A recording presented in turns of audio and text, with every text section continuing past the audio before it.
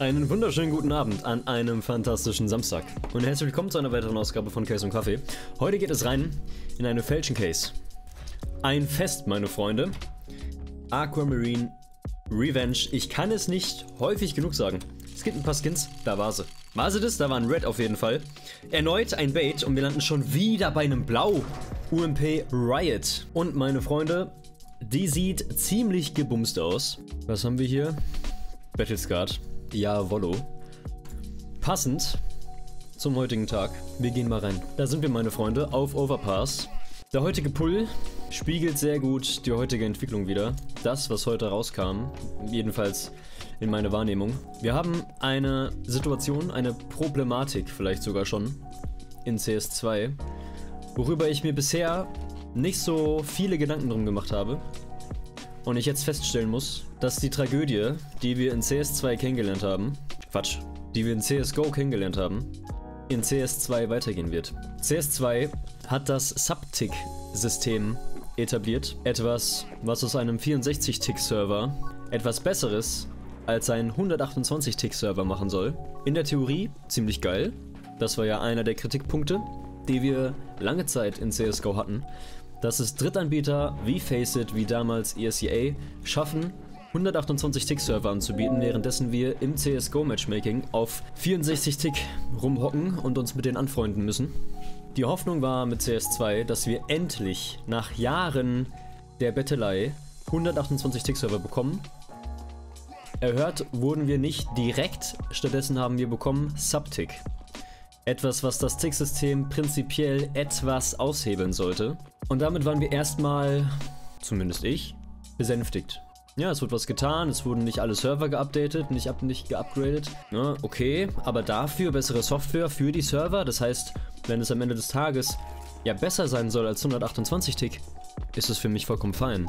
Jetzt ist heute im CSGO im Global Offensive Subreddit nach einigem Testing von Faceit ein Beitrag gepostet worden, der das Testing auf Faceit von CS2 so ein bisschen in Perspektive bringt. Und nach wie vor haben wir die Problematik, und da endet nun der Aufbau im Höhepunkt. Faceit bietet immer noch bessere Server als CS2. Alter, was ne Scheiße. Ich bin ganz ehrlich, Freunde, das pisst mich richtig an. Ich hatte wirklich gehofft, dass wir mit CS2, mit dem Premier Mode, mit den Leaderboards, mit der Idee, die Brücke zu schlagen zwischen Amateur und Pro, dass die gesamte Counter-Strike Community, dass wir alle das gleiche Spiel spielen.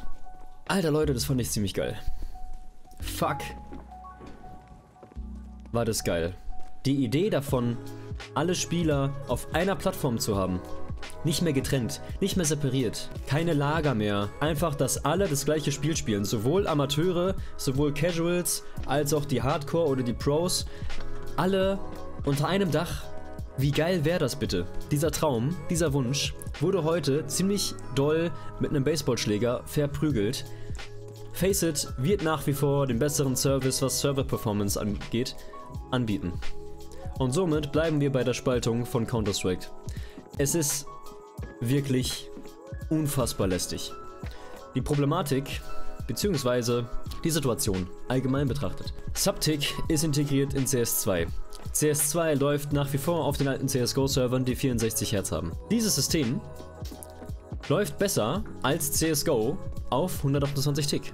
Prinzipiell gesprochen, ich weiß, ich weiß, wir haben viele Komplikationen und Probleme, was die Performance von CS2 angeht. Nach wie vor ist eine Beta. Außerdem, die letzten Patches, die alle reinkamen, haben, so wie ich gelesen habe, bei vielen Spielern die Performance mindestens verbessert, wenn nicht hin zu beinahe ich hätte fast perfektioniert gesagt. Nee, das sage ich nicht, aber verbessert. Ich glaube auf eine verbesserte Performance als noch vor einer Woche. Ich glaube, damit kann man sich, damit können wir uns alle anfreunden, das können wir alle so unterschreiben. Es läuft besser. Noch nicht reibungslos und garantiert noch mit Problemen, aber innerhalb einer Woche schon mal besser. Das ist cool.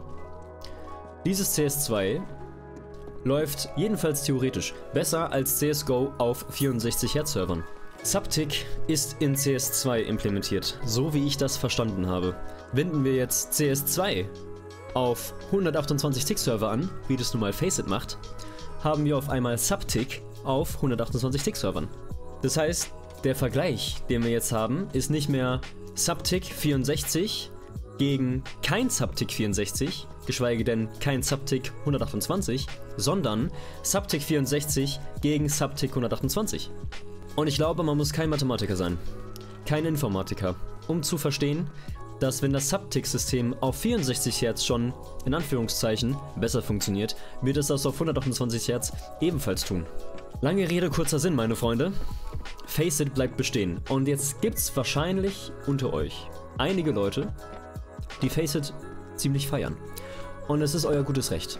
Genauso wie es mein Recht ist zu sagen, scheiß auf Faceit. Ich habe wirklich keinen Bock, ein Spiel aufzuteilen auf den eigenen Service und auch noch auf einen Drittanbieter. Ich habe darauf einfach keinen Bock. Ich finde die Idee, alles unter einem Dach zu haben, unfassbar geil. Und dass wir heute, dass ich heute, muss ich ja sagen, die Erkenntnis gewonnen habe, dass das in CS2 trotzdem nicht der Fall sein wird, muss ich sagen, pisst mich ziemlich an. Dementsprechend heute eher ein Rant als eine gute Nachtgeschichte. Und es ist einfach, einfach schade, wie dieses millionenschwere Unternehmen nicht Kohle in die Hand nimmt, um Server zu upgraden. Du musst dir nicht mal alle Server upgraden. Nimm die Spielerzahl von Faceit und etabliere in dem Premier Mode, den wir jetzt hier haben, einfach ab einem Punkt, ab einem gewissen Ranking, spielst du auf 128 Tick-Servern. Und wenn du auf 128 Tick spielen willst, musst du halt eben besser werden. Alternativ Paywall. Geht ja auch. Leute bezahlen jetzt schon für Faceit, können sie genauso gut im CS2 machen. Zwei Ansätze, die meiner Meinung nach mindestens funktionieren würden. Und dennoch muss ich erneut zugucken, wie ein CSGO-Kapitel, Quatsch, wie ein Counter-Strike-Kapitel startet, mit einem fucking Drittanbieter. Und ich habe einfach keinen Bock, meine Freunde. Ich sehe, ich sehe keinen Grund, warum es ein Unternehmen wie Faceit für Counter-Strike geben sollte. Faceit macht es fantastisch. Bessere Anti-Cheat, bessere Server, Ranking-System von Faceit Level 1 bis 10, fantastisch. Daumen hoch, gute Arbeit. Will ich gar nichts gegen sagen. Ich möchte aber gar nicht in einer Welt leben, wo das nötig ist. Und wir hatten jetzt mit CS2 eben gute Schritte eingeleitet, dass wir zu diesem Punkt kommen. Dass CS2 autark funktioniert, unabhängig von Drittanbietern, unabhängig von Unternehmen und Leuten, die sagen, wir können es besser machen, weil es nun mal nicht geht. Und es scheint, nachdem ich ja mit mir habe reden lassen, wegen Performance, wegen Bugs, wegen all dem Kram, der aufgetaucht ist. Und ich optimistisch daran gegangen bin, zu sagen, Leute, gebt den Entwicklern Zeit. Das ist eine Beta. Limited Test. Das Game ist noch nicht mal draußen. Gebt dem Zeit zum Fixen, zum Arbeiten. Und dann werden wir am Ende ein gutes Ding haben, woran wir alle Spaß haben werden. Und jetzt muss ich zugucken, wie das doch ein bisschen in Pessimismus ausartet, weil wir nun mal, und wirklich, jetzt kommt der Hass ein bisschen raus, einfach weiterhin Faceit haben werden. Und ich mag es nicht. Ich finde es unfassbar lächerlich.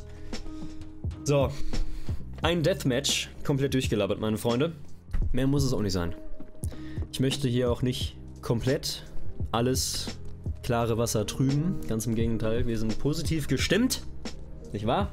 Dass CS2 toll wird. Ich habe einfach nur keinen Bock weiter in Faceit-Matches zu schauen. Ich bin ehrlich. Na gut, meine Freunde, wie retten wir uns hier jetzt raus? Wie holen wir uns hier raus? Kurz irgendwie die Kurve kriegen. Gib mir mal kurz einen Moment. Was bleibt denn das Gute? Naja, für die Menschen... Nee, ich kann mir das nicht schönreden. Ich find's scheiße. Punkt Ende aus. Will ich gar nicht, will ich gar nicht probieren. Dennoch, meine Freunde. Ist heute Wochenende. Wir nähern uns dem CS3 Release. Das ist was Tolles. Ganz bestimmt. Jetzt sind die Zweifel da. Jetzt sind die Zweifel da, meine Freunde. Es ist für mich, ehrlich gesagt, ein trauriger Tag. Auf dem Weg zum Release von CS2. Ich hoffe, ihr verzeiht es mir. Ich möchte hier Dinge nicht schwarz malen, nachdem ich mich mehrere Wochen darüber aufgeregt habe, dass Leute alles schwarz malen. Aber der Aspekt, wirklich, der pisst mich richtig an. Wir werden zuschauen müssen. Haben keine großartig andere Wahl. Und ich werde euch auf dem Laufenden halten. Natürlich, meine Freunde, selbstverständlich. Und wir hören uns morgen wieder. In alter Frische. Bis dahin.